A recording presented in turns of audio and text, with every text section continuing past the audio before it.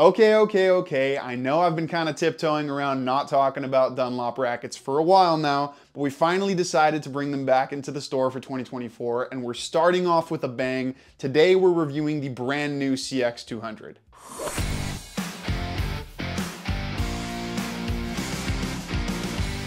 Hey everybody, it's Luca from Rackets and Runners. So I have to admit, I am super, super happy that we decided to bring Dunlop back to the store. I've always had a bit of a soft spot for them, especially nowadays with so many modern rackets. They're still making some great classic stuff. The CX line has been one of my go-tos for a number of years now, and while the previous one definitely wasn't my favorite, they've made a number of very important updates that have changed the whole hitting experience with this racket. Now Dunlop is one thing, but if you want me to start talking about more niche brands, we gotta grow, because the store has to become massive enough to sell something that's not necessarily established. We're all for exploration, but business is business, ladies and gentlemen. So please, do subscribe to the channel, that's how we're going to grow, and also please remember to like the video, follow me and the store on Instagram, and remember that any of the rackets we talk about here you can check out on our website, racketsandrunners.ca. Enough about that though, let's talk about some specs and the new tech on the CX200. Now most of the specs have technically stayed the same. It still has a 98 square inch head size,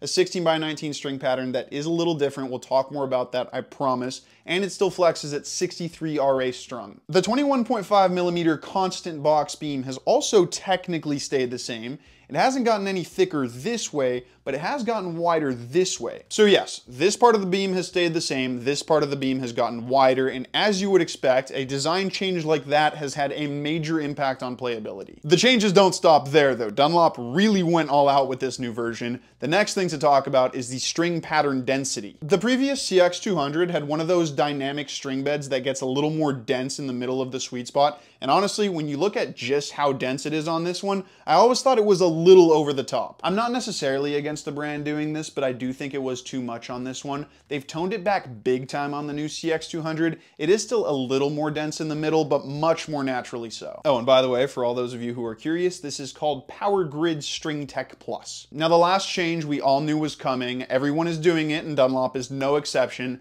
They've added a new stabilization technology to the frame called Vibro Shield. First of all, Vibro Shield is hilarious. I think I might make a tier list of all the stabilization technology names in the industry, and that's gonna have to take the cake. But anyways, Dunlop claims that it's a super elastic material that reduces vibrations and also makes the racket feel more solid. That sounds a lot like Auxetic and really everything else. And of course, there's still those sonic core inserts like there were on the previous CX. But yeah, tons of changes, and I have to say, I'm really happy when brands make major changes like this because it makes for such an interesting review experience. And honestly, there is a lot to say with this racket. I do want to make make one thing clear before we move on though. I'm going to be very detailed and in some ways critical of this racket today, but that's only because I think this is one of the most impressive control rackets I've ever tested. So that's why I have so much to say and why I'm very passionate about explaining exactly what it has to offer. Let's get into it.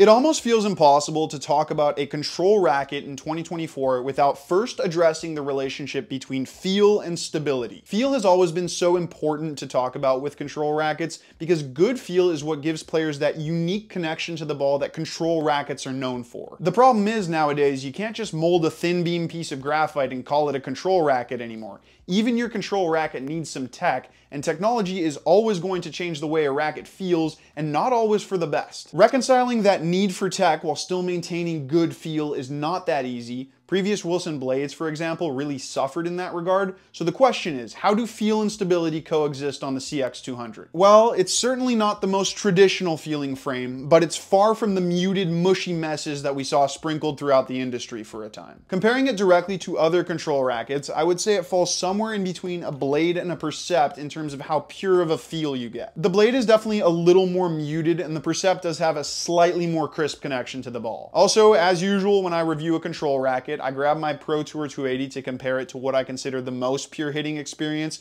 and it definitely isn't the same, but where it blows this racket out of the water is in its easy stability. Let's rewind a little bit to that ridiculously low 307 strung swing weight. Now, honestly, I didn't want to try it like that, but I did, and yes, it's way too low. I decided to add lead, but I also didn't want to go too over the top with customization because I'm pretty sure that Dunlop wants this racket to swing low, so I only brought it up to 315 strung. The result was quite frankly astonishing, and I'm not gonna lie, even when I did test it with that low 300 swing weight, I could tell this racket was on another level in terms of easy stability. The layup tech itself is definitely important for that for sure, but what I think is way more important is this new beam design. Widening the beam like this was always going to make the racket more resilient to off-center shots, but I wasn't expecting it to perform this well in terms of that easy stability. At that 315 swing weight, the stability feels more along the lines of what you get with the 330 swing weight, I think this might be the most effective stabilization technology I've ever tried. Seriously, at the beginning of my playtest, I was thinking to myself, this feels like a control racket version of the Clash, and while that might not sound like a good thing, it actually is because it doesn't have that same artificially stable feel that the Clash has. Like it definitely has a bit of that feel, but not nearly as much as the Clash, and honestly, even less than something like the Blade, I find. You see, the Clash accomplishes its great stability mainly through its unique graphite layup but that uniqueness is also what makes the feel a little weird to us tennis purists. On the CX200, there's definitely a bit of that artificially stable feel, I'm not denying that, but because it's an actual physical design element and not some magical layup ingredient, they've managed to make it so impressively stable without totally ruining the feel. I'm super impressed, and honestly, I don't even feel the need to add a leather grip to this racket, which you all know I love to do. I did try it for a bit, and I do think you can if you want to, but it almost felt like overkill, and it hurt the maneuverability a little bit, which I really didn't want to mess around with too much. Now, right off the bat, I'm going to be a little critical of the CX200's maneuverability, but I want to make it clear, compared to a traditional control racket with a high static weight and 330 plus swing weight, it is much more maneuverable. That's a big reason for why these brands are adding these stabilization technologies to control rackets. They're trying to bring their speed and user friendliness closer to that of lighter tweeners, but also obviously trying to keep that solid feel you need from a control racket. So yes, this racket is quicker than traditional control rackets, but compared to the previous one and compared to other modern control rackets, I actually find it a bit slow, and that comes down to this wider beam profile. Throughout several hits with this racket, I always found that it played a bit bigger than its specs would suggest, and switching to the Blade and the Percept definitely confirmed that for me. Even this Percept, which has a nearly identical swing weight, but a higher static weight and a leather grip, it felt quicker, more maneuverable, not necessarily lighter, but the CX200 just felt a little bit more clunky in general. That is one of the small drawbacks of a traditional box beam like this. Because it's so square and so flat, it doesn't slice through the air as efficiently as the blades or even the hybrid box beam on the Percept. That is why I didn't want to add too much swing weight and why I eventually took off the leather grip, but I do want to make it clear, we're talking about really subtle differences here. It is still a quick racket, but it is a little bit under its direct competition when we keep the weight specs as close as possible. Now, of course, maneuverability is important for spin because it's directly related to whippiness, so that has a small negative effect on spin, but other than that, this racket is very spin friendly. Because they've opened up the string bed on this racket, the strings have a bit more space to move, and generating spin comes a lot easier and it feels a bit more natural. It also makes for a higher launch angle, so you get a bit more purchase and bite on the ball. It's nothing too extreme, of course, but it does produce a bit more spin than something like the Percept, and it's very similar to the Blade. I was actually extremely comfortable hitting with more spin than I'm used to with this racket, and considering the amount of power it can generate, which we'll talk about in a second, I was very happy that it had this much spin because that also helped me with control. Now this is the section where I'm going to try to explain everything the CX200 is really about. Because yes, it's a control racket, but it's definitely not all about control. The first thing that stuck out to me was just how powerful this racket is. When you combine the stabilization tech, the wider box beam, the more open string pattern, and the fact that all these characteristics make it more playable at a low static and swing weight, all of that adds up to a racket that's actually pretty powerful. Now we're definitely not talking pure drive here, but when you compare it to something low powered like the Percept, you get noticeably more pace and depth on your shot. When I grabbed the Percept after playing with the CX for a while, I put my first three forehands into the net because I'd kind of adapted my technique to the higher launch and more powerful response on this racket. Even my dad who was watching was like, yeah, as soon as you grabbed that racket, you missed every shot, which was kind of weird. Really good impression of my dad. But that's just it. This racket packs a bit more of a punch than a really traditional control racket, which means it has the potential to swing big and serve big, but it is a bit of a double-edged sword. Of course, when a racket generates a bit more depth and when the launch angle is higher, it tends to be a little more difficult to control, seeing as this is a control racket, that could be a negative for some people. At the beginning of my playtest, that's certainly how I felt, and I was definitely launching a few balls deeper than I wanted,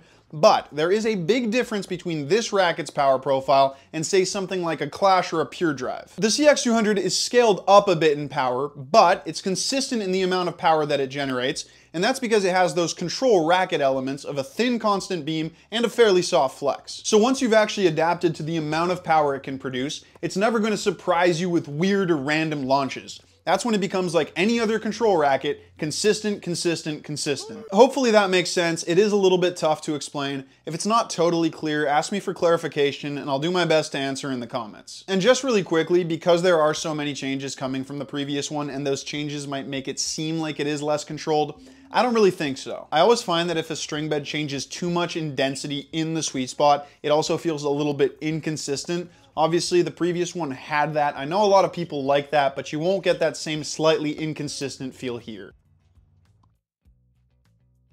So how does all this playability explain who this racket is for? Well, this is a very, very good modern control racket because it's so complementary to a modern style. I've started to realize that when I like a racket more on my forehand than I do my backhand, that's because the racket tends to do better when you hit with spin. My backhand is super flat, so I really like low launching, really flexy, really low powered frames because that's how I get the most amount of control on that shot. Within the CX line, the 200 Tour 1820 has a bit more of that, and I'll review this racket soon, but the CX200 has much more potential to hit your opponent off the court and vary it up with high percentage spin shots if you need to. It's certainly worth comparing this racket more directly to the Blade, the Percept, and even some other less traditional control rackets because yeah, this racket can kind of do it all. And also, because it's so user-friendly, it doesn't really require you to be a high-level player to handle it. I think this is an absolutely fantastic racket, and it shows me that technology, when used properly, doesn't mean you really have to sacrifice much in one area for major improvements in others. Dunlop really knocked it out of the park, and it goes without saying that I think this is a major improvement on the previous one, which was already a pretty good racket by the way,